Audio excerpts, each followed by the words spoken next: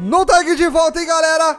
Vamos para mais um vídeo sobre o mercado da bola, isso mesmo.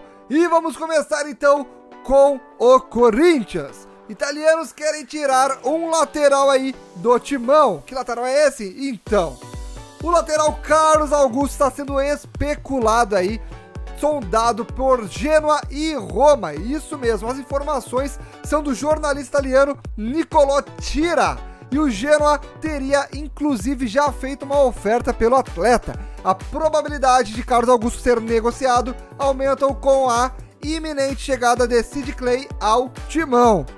E Danilo Avelar segue como titular incontestável. E o Fortaleza está sondando um atacante do Cruzeiro. Daniel de Paula Pessoa, diretor de futebol do Fortaleza, revelou que o clube sondou o atacante David do Cruzeiro.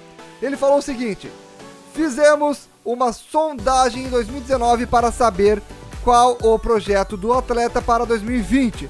É um atleta que tem o nosso perfil, a nossa preferência e que agrada ao modelo de jogo do Rogério Ceni. Isso ele disse em uma entrevista para o Globo Esporte. E o Atlético Mineiro já tem novo treinador. Dudamel é o novo técnico do Atlético Mineiro. Isso mesmo. Rafael Dudamel é o novo comandante alvinegro, com trabalho de excelência à frente da seleção venezuelana, tanto na principal quanto na categoria de base. O treinador elevou o patamar do futebol do seu país e ele assina com o Galo até o final de 2021. E olha só quem vai chegando ao Atlético Paranaense. É, galera, Viseu, ex-jogador do Grêmio aí, que jogou pouco na temporada passada, sofreu uma lesão, ficou meses parado e acabou aí saindo do Grêmio e voltando então para a Udinese e a Udinese emprestou ele para o Atlético Paranaense. E eu tenho certeza que esse cara vai jogar muita bola. Eu era muito, era não, eu sou muito fã do futebol dele, não queria que ele tivesse saído do Grêmio, porque para quem não sabe, eu torço para o Grêmio e eu gostaria muito de ver ele jogando em 2020 no Grêmio, mas acabou indo aí para o Atlético Paranaense. Tenho certeza que vai jogar muita bola, muito mais do que André Balada e Diego Tardelli, que tá no meu tricolor.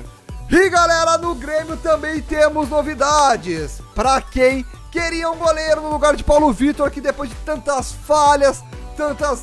Uh, desculpa a palavra, mas cagadas que ele fez nessa temporada, Agora o Grêmio procura um novo goleiro e já está muito perto de, de anunciar o goleiro do Santos, Vanderlei. A direção do Grêmio está muito perto de fechar a contratação do goleiro Vanderlei do Santo.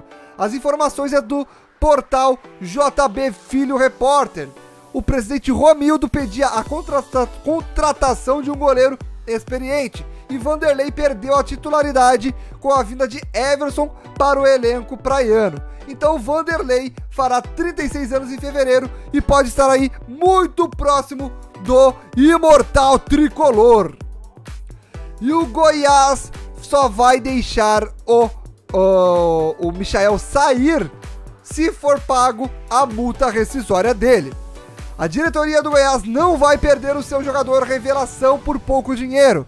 Michael tem uma multa rescisória de 50 milhões e parece que este é o único valor aceito pelo clube. Uh, o time que quiser vem e paga a multa. O Goiás não tem o interesse em ficar negociando, porque o interesse nosso é manter o jogador do nível do Michael por mais um ano, disse Túlio Lustosa, o diretor do clube goiano. E o Corinthians ofereceu 20 milhões de reais pelo atacante. Um clube mexicano, ainda em segredo, estaria interessado em pagar a multa contratual do atleta. E a proposta da Juve por Pogba envolve ex-PSG. A Juve espera convencer o Manchester United a vender Paul Pogba por 70 milhões de euros, mais o passe de Rabiot, ex-atleta do PSG. E as informações são do jornal Daily Star. Rabiot se recusou a renovar com o PSG e se transferiu para a Juve, mas ainda assim não conseguiu titularidade na equipe. O Manchester United esteve interessado em Rabiot no passado e a Juve espera que uh, seja incluído ele no negócio para convencer o clube inglês a se desfazer de Pogba. E Renier pode estar indo se juntar com o Vinícius Júnior. Isso mesmo, ele está muito próximo aí do Real Madrid. O jornalista Mauro César informou detalhes da negociação entre Real Madrid e Flamengo pelo jovem atacante Renier. Segundo ele, o Real Madrid irá desembolsar 35 milhões de euros para contar com o atleta. O Flamengo ficaria com 28 milhões de euros, cerca de 130 milhões de reais, já que o rubro-negro tem 80% dos direitos do atacante e 10% fica com o atleta e os outros 10 com o empresário Giuliano, Giuliano Bertolucci. O Barcelona aceita derrota com Dembélé. Osmané Dembélé veio para o Barcelona por 147 milhões de euros em 2017, visto como promessa.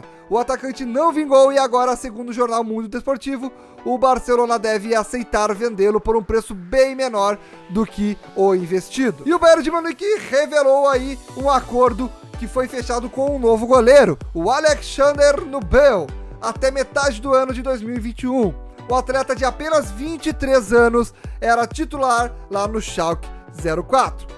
E galera, os, as notícias do mercado da bola de hoje foram essas. Se vocês gostaram, deixem um like aí no vídeo. Se você não conhecia o canal, ainda se inscreve, que vai ter muita notícia ainda sobre o mercado da bola. Vai ter vídeos sobre lances de futebol, curiosidades e muito mais. Então, manos, deixa o like, se inscreve e nos vemos no próximo vídeo.